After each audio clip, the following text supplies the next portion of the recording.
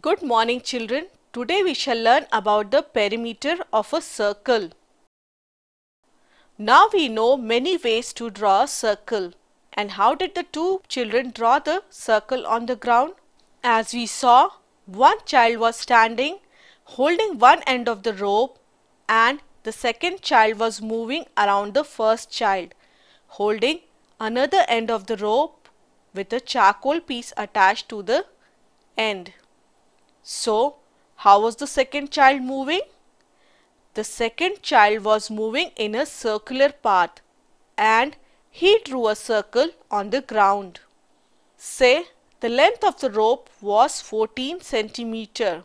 So, we can say the diameter of the circle drawn would be twice of that that is 14 multiplied by 2 which is 28 centimeter. Now what would be the length of the boundary or the perimeter of the circle drawn? For this the children laid a rope along the boundary of the circle and measured the length of the rope used. So they measured the length of the rope which was same as the length of the boundary of the circle or we can say the perimeter of the circle. It was almost 88 centimeters. You know the perimeter of the circle is also known as the circumference of the circle. So we can say the circumference of the circle was almost 88 centimeters. Next, the two children made a bigger circle with the rope of the length 28 centimeter. So the diameter of the circle would be 2 times 28 which is 56 centimeters. Then they measured the boundary of the circle same way using another rope. They found that the length of the rope used to measure the circumference of the circle was nearly 176 centimeters. Now another team made a even bigger circle using 42 centimeter long rope and this was the radius of the circle. So the diameter of the circle would be 84 centimeter that is twice of 42 and when they measured the perimeter of the circle that is the circumference of the circle it came about 264 centimeters. What do we see? As the diameter got bigger, the circumference got bigger too. But you know, there is a certain relation between the circumference and the diameter and that remains same always. Let's find that relation. In the first case, the circumference was 88 centimeter and the diameter was 28 centimeters. Let's find the ratio of 88 and 28. 88 and 28 are divisible by 4. 4 sevens are 28, 4 22s are 88. So we get 22 by 7. In the second case, the circumference was about 176 centimeter and the diameter was 56 centimeter. Now let's find the ratio of 176 and 56. 176 and 56 are divisible by 4. So we get 44 by 14. Now we can reduce this ratio further as both 44 and 14 are divisible by 2.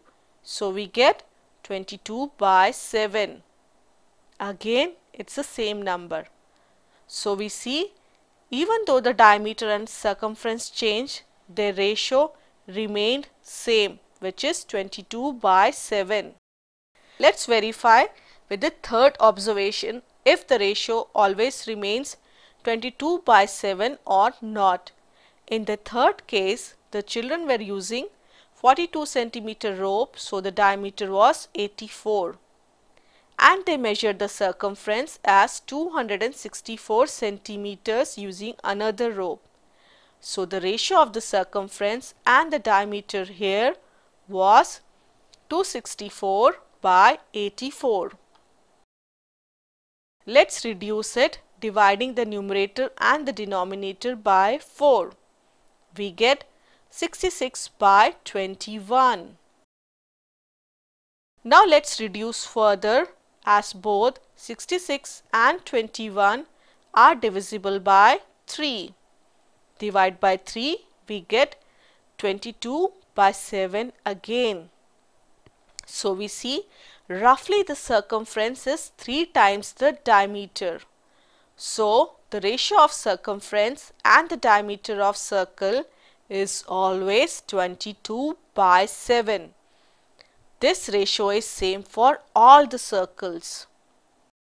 Now the ratio of circumference and the diameter is 22 by 7.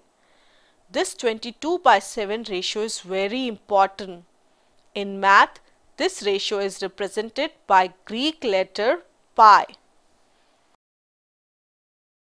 So, the circumference of a circle is 22 by 7 multiplied by its diameter. So, the circumference of circle is equal to pi multiplied by d where d is the diameter. If you calculate the value of pi that is 22 by 7, we get almost 3.14285. You know it's a non-terminating, non-recurring decimal number. In short, we can write it as 3.14. So remember children, the ratio of circumference and the diameter of the circle is always a constant pi whose value is 22 by 7 and this ratio is same for all the circles.